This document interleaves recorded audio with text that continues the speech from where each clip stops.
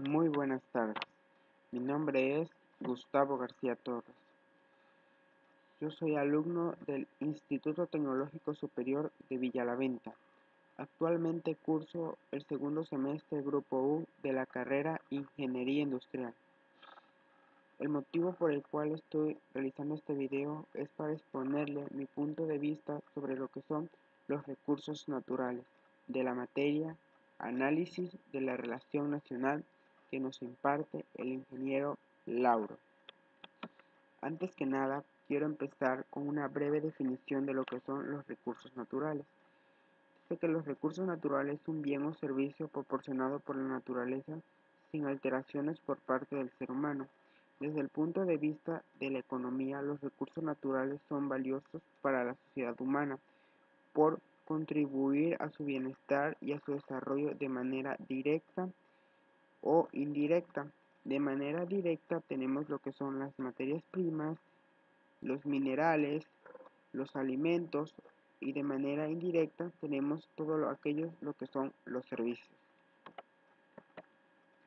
Dicen que los recursos naturales están divididos en dos grandes ramas, lo que son los recursos naturales renovables y los recursos naturales no renovables. Los recursos naturales renovables son aquellos recursos que no se agotan, como, como son los bosques, el agua, el viento, la radiación, la radiación solar, la energía hidráulica, entre otros. Y por otra parte, los recursos no renovables son aquellos recursos naturales que no pueden ser producidos o cultivados, como son el carbono, el carbón, el petróleo, los minerales, los metales, el gas natural y los depósitos de aguas subterráneos, entre otros.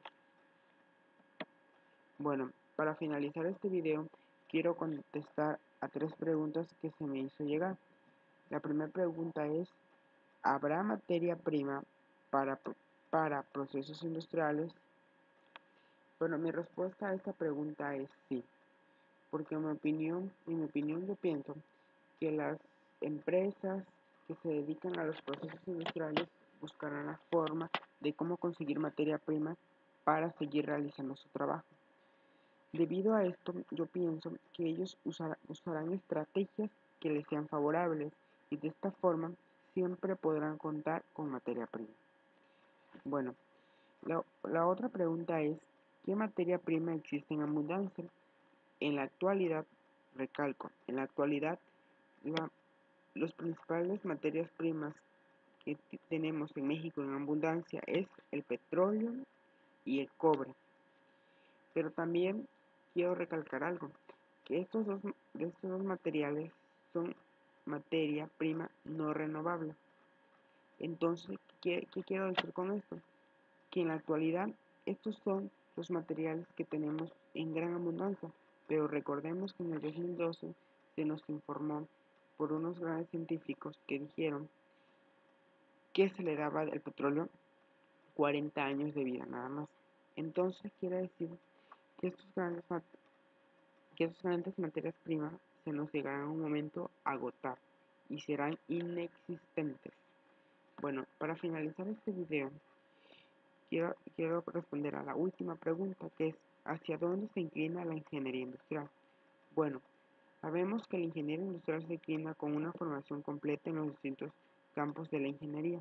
Sabemos que un ingeniero industrial, por su capacidad o por su formación que es tan completa, puede desempeñar cualquier puesto de cualquier tipo de ingeniero. Eso es lo que hoy en día sabemos. Pero nos damos cuenta que los compañeros que están titulados como ingenieros industriales se ha inclinado más hacia el área de gestión, hacia el área de seguridad y hacia el área de legalidad de procesos productivos. Entonces, ellos es la área que han visto con mayor competencia. Bueno, esto ha sido todo por mi parte. Espero que, que este video haya sido de su agrado. Espero, maestro, que este video le haya gustado. Bueno. Me retiro solamente dejándoles un cordial saludo. Gracias por su atención prestada.